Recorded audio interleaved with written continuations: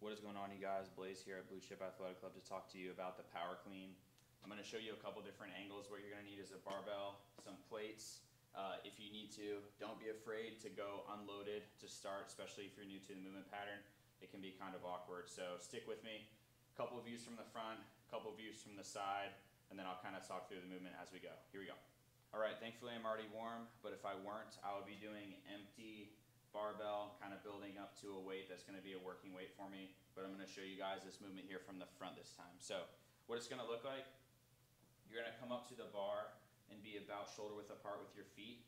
Your arms are gonna come down basically down by your side as if you're gonna deadlift the barbell. So we're gonna break the movement down into a couple different moves. First one will be deadlift up to the leg. The second one's gonna be a pull up really high, so almost like an upright row. And when you do that, your hips are gonna push forward to generate a lot of power in the movement. And the last one's going to be flipping the bar under and then catching it with our elbows super high. That's gonna be a huge cue. Make sure your elbows get super high. Your wrists are gonna be really loose so that the barbell will sit kind of in your fingers here and then across your collarbone here. Um, if it doesn't look like you have hickeys across your collarbones after you do these, I'll say that you're probably doing them wrong or if you're having trouble breathing, you're probably doing it right. So here we go. I'll show you a couple here. So I'm gonna come up to the pattern, I'm gonna break it down. So step one is the, the uh, excuse me, the deadlift. So here, I'm gonna lock my lats down really, really strong. Notice how my butt isn't shooting up really high. My butt's coming down and forward, and I'm bringing my chest up really tall. So step one, here is the deadlift pattern. Notice how the barbell is really, really close to my shin as I pull up. So I'll go again. Step one here. Now we're gonna go step one and two. So it's gonna be up and then a pull really, really high. And you wanna pull high enough so that you can drop yourself under the weight. So here's phase one and phase two. We'll be down at the bar here, really tight. Phase one and two. Nice big pull. Notice how I'm getting up really, really high and I'm almost making it easy for me to drop up under the weight. I'm already getting out of breath. Here we go again. We'll do that one more time. Down, phase one and two, and pull nice and high. It's okay if you drop the weight. That's why the bumper plates. Okay, now we're gonna bring it all together. We're gonna deadlift up tall, come all the way up, and then I'm gonna drop and uh, loosen my wrists, shoot my elbows super high. One thing I want you to think about too is you almost, as you come up, you want to like stomp the ground. You want to show the ground who's boss as you're coming up, flipping your arms under. It's going to get you a really explosive out of the movement. So here we go. One, two, and three. Link it all together. Oh boy, I'm getting out of breath. Here we go. So notice butt comes down, lats are engaged. I'm nice and tall. Here we go. One. Oh, one other thing. I really want to brace my core here I've got another video. I'll leave it in the description here, but about bracing the core, what that means. But if you want to boil it down to what it really is, or the simplest terms, imagine someone's going to come up and give you a nice sucker punch to the gut. That's how you kind of want your core to be locked in to protect your spine the whole time. So I'm going to imagine someone's coming up to punch me in the gut. I'm going to get kind of braced here through the core before I go through the move. So here we go. Core brace. Now I'm going to come down, Nice big pull. Once you get it here, you can just go, notice how it's all in my collarbone. I can let my hands go. And now I'm just gonna drop it straight down, okay? Here we go. We'll do one more. Again, one move up here, just above. Once you get above the knee, that's when you get that big pull and then drop down. Notice how my feet really stomp the ground. Here we go, another one. Start with the core brace.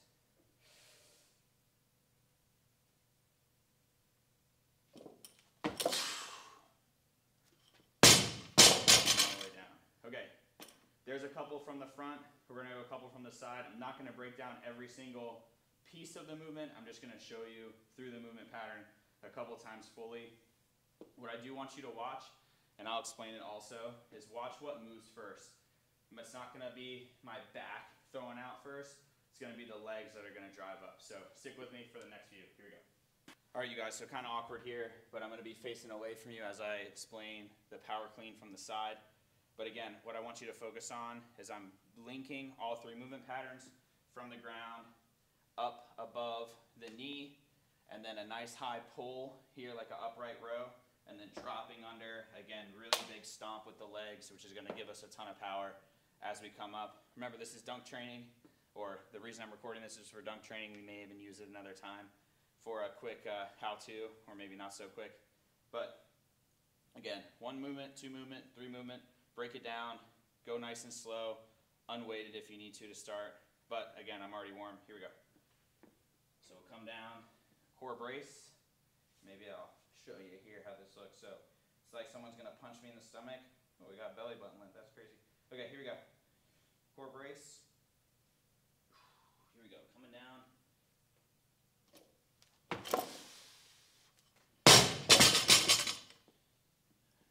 Remember, watch the butt.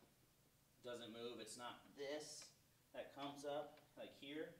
We're gonna lock the lats down, drive the hips down and forward like we're just gonna do normal deadlifts. That's gonna start the pattern. Here we go. So notice lats are locked down. Hold on, core brace. Here we go. Lats coming down, butt going down forward. I'm really tall. Here we go.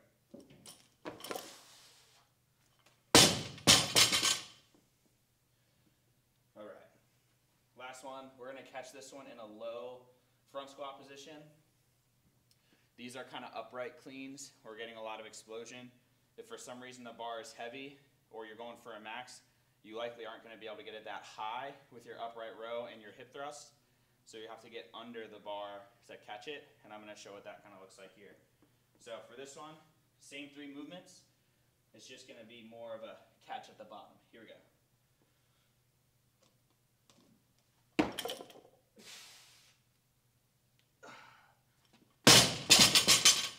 Notice how I kind of catch in that bottom part of a front squat. Then you're gonna have to trust that your elbows are really tall because that's gonna keep your chest tall. You'll be able to squat up at the bottom of the pattern. I'll give you one more of those and then we'll call it a day. Here we go. Coming down. Chest tall. I could sit here almost all day, I like to think. And then here we go, all the way up. All right, that is the power clean. Good luck. Let me know how you guys do, and we'll see you in the next video. Later.